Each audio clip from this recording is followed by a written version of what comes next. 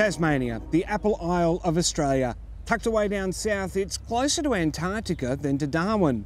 We were in the deep south last week at Port Arthur. This week it's a road trip in the north, starting in the second largest city in the state, Launceston.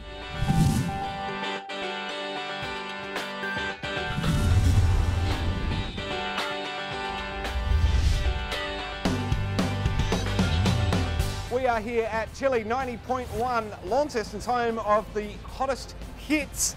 Taylor is the local presenter. She is joining us for the day. Taylor, how are you? I'm good. How are you? Very good, very good. Now, you've got a couple of places to show us around I town. do. I do. Are you excited? I am pumped. Are You ready to go? Ready to go. Let's do this. Let's do this. Give me your, give me your, give me your attention, baby. I gotta tell you a little something about yourself. Okay, Taylor, our first stop on this road trip. Where are we?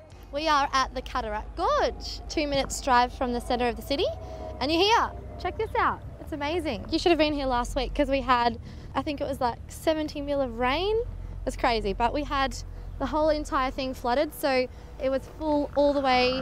If you can look at the grass, it was just totally full of water. So So, where those kids are playing in the playground now, they would need snorkels they if they were need here last to be week. swimming. Yes, they would need to know how to swim. I'll take it in, but don't look down. I'm on top of the world, eh?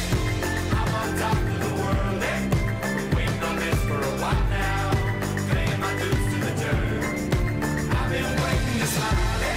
Been holding it in for a while, eh? Take you with me if I can. Been dreaming of So, Taylor, we've made it to the other side. How do you feel? Well, doing okay. The channel was a little scary, but it's in the background now, so we- we're up. Well, you know what? Yes, what? If you can get across this side, over here you can go rock climbing, hang gliding, and even a bit of abseiling. Wow. So we've got everything here. Taylor, tell us about Seaport. Seaport, what is there to tell? Look at it. No, seriously, here some beautiful, expensive restaurants. We've got a full marina. We've got the beautiful rowing sheds behind us so we can see in the morning at five o'clock with all the young kids going out on the water. Lots of nice waterfront apartments and boats, it I looks like. we should add, it's only two minutes from the centre of the city. Wow. So you can walk up, have a shop, come back, enjoy a nice wine at the restaurant, overlooking the water and all the boats. Ooh, girl, you're shining like a Fifth Avenue diamond. And they don't make you like they used to. Where are we now, Taylor? We've made it to the Tamar Valley wetlands. It's wet. it's wet and there's a bit of land and there's some frogs. I think we spotted some frogs a We little did. earlier. We spotted some very rare frogs. Apparently they weren't out last season. All the snakes ate them. So this season we've got some frogs. Bastard snakes. um, and so people people can do uh, bird watching and all uh, various other little activities. I think. Yeah, and there's another thing about this island. What's you that? can walk two kilometres and get to the actual island of the wetlands, and there's meant to be a loose bull. A loose bull. A loose bull. Well, Taylor, I think that wraps up our tour of Launceston. Thank you so much for being our guide. no, thanks for having me. I think I showed you three hot spots in Lonnie, and it's nice. Fantastic. Now, when people are staying in Launceston, what is the FM radio station that they need to tune to? Chilli 90.1, home of the hottest hits.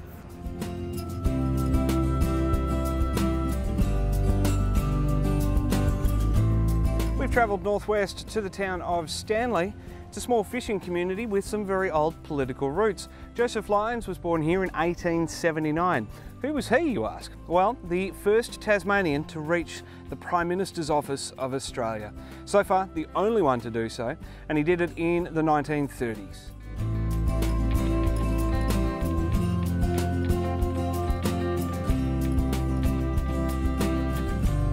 First telephone transmission from Tasmania to mainland Australia happened from right here in Stanley, all the way across the Bass Strait in 1936.